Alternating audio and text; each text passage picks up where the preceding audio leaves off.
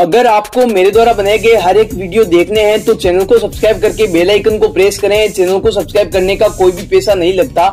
इससे आपको ये फ़ायदा होगा, जब भी मैं कोई नया वीडियो अपलोड करूँगा तो उसकी नोटिफिकेशन सबसे पहले आपके मोबाइल फ़ोन तक आएँगी और आप उस वीडियो को सबसे पहले देख सकेंगे।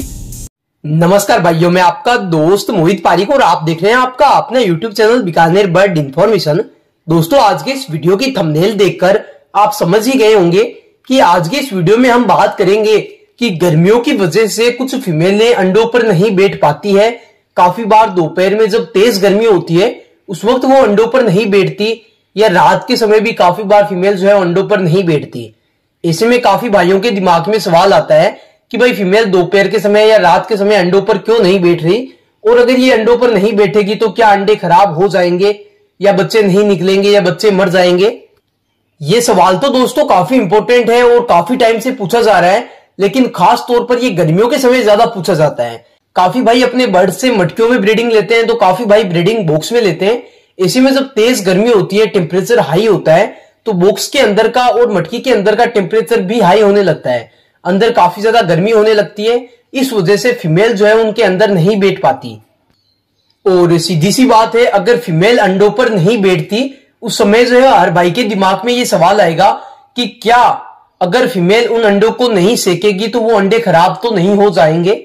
ऐसे में काफ़ी भाइयों के आज मैंने इस टॉपिक पर कमेंट देखे तो मैंने सोचा सभी के कमेंट का रिप्लाई देने की बजाय हमें एक वीडियो ही बनाना चाहिए, क्योंकि अभी इस टॉपिक की काफ़ी भाइयों को ज़रूरत है।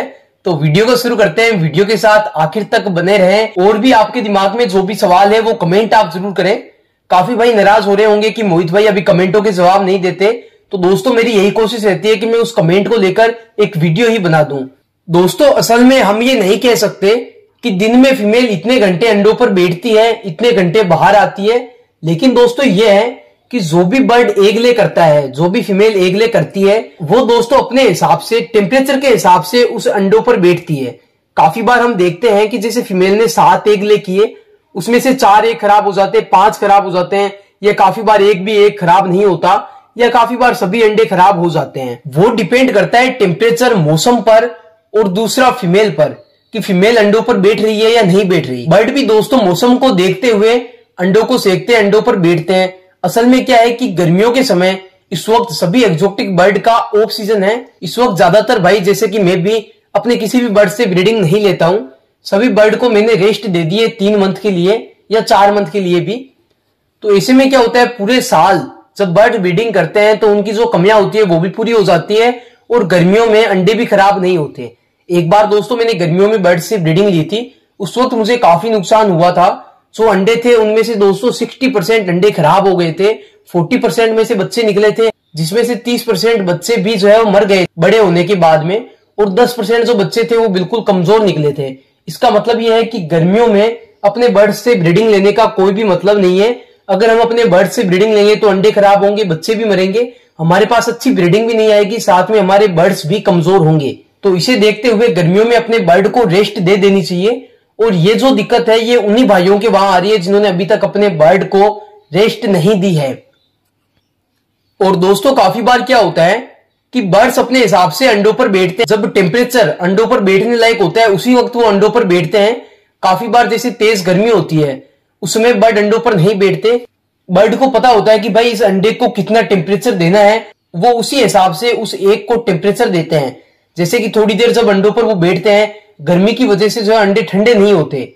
ऐसे में वो कुछ टाइम अंडों पर बैठेंगे, जब एक का जो टेम्परेचर है वो प्रॉपर रहेगा, उसमें वो वापिस बाहर आ जाते हैं, फिर थोड़ी देर बाद में अंडों पर बैठते हैं, या काफ़ी बार तेज गर्मी होने के कारण वो सुबह के समय अंडों पर बैठते हैं या शाम के समय बैठते हैं। या रात के समय भी बैठते हैं, तेज दोपहर में उस समय नहीं बैठते। ऐसे में दोस्तों, काफ़ी बार तो अंडे खराब नहीं होते, लेकिन काफ़ी बार एक खराब भी हो जाते हैं। इसका कारण ये होता है कि तेज जब गर्मी होती है तो अंडा अंदर से सूख जाता है।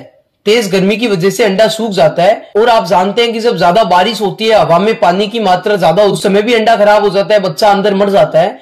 तो दोस्तों, जो प्रॉपर जो अंडे का टेम्परेचर होता है, वो बर्ड जो है वो प्रोवाइड करते हैं उस एक को। इसके अलावा दोस्तों बर्ड अंडों पर नहीं बैठते इसके और भी काफ़ी रीजन होते हैं। कुछ मैं आपको और भी बताता हूँ। काफ़ी बार क्या होता है कि जैसे कि बजीज पेरेट के अंडों में से बच्चे निकलने का जो टाइम है, वो दोस्तों 20 से 25 दिन के आसपास होता है। काफ़ी बार उससे पहले भी बच्चा निकल जाता है। ऐसे में जब वो टाइम हो जाता है बच्चा निकलने का, उसके बावजूद भी अंडों में से बच्चे नहीं निकलते। बच्चे डेथ इन सेल हो जाते हैं, उसके बाद भी फीमेले अंडों पर बैठना छोड़ देती है, अंडों को बाहर फेंक देती है।